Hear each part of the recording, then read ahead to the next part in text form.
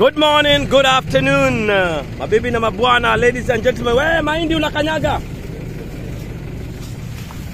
We are at the maize plantation. We've been talking about uh, proper maize, uh, not maize, animal feed production. With uh, what you can see is part of the 60 acres of maize that I'll be harvesting. This other side, uh, 60 acres of uh, maize that uh, approximately I'll get uh, 540 tons of animal feed that will be able that I'll be able to run 200 bulls, actually cows, eh, for the next uh, six months comfortably.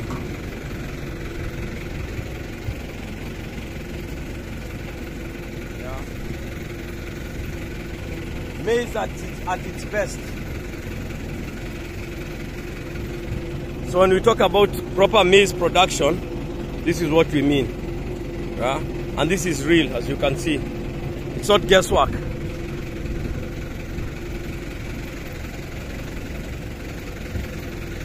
We don't guess.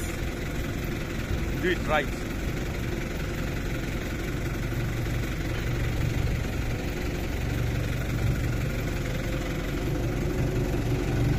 Yeah.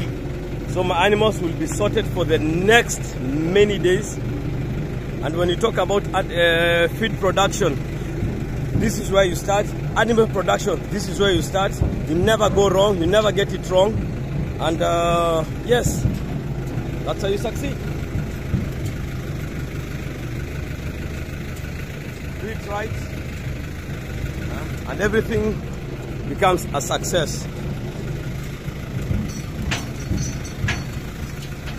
Mahindi sio mahindi manze.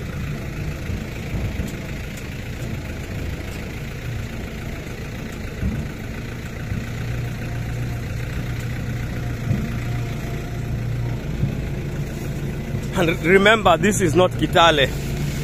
This is not Kitale. This is at the coast, Kilifi, one of the driest parts of, uh, in Kenya.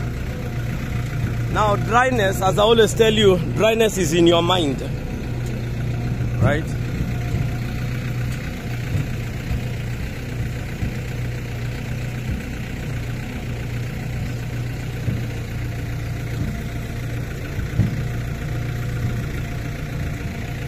Dryness is in your mind. Marereni Feedlot Farm Limited we do it with a passion and uh, in all animal production always start with the feeds.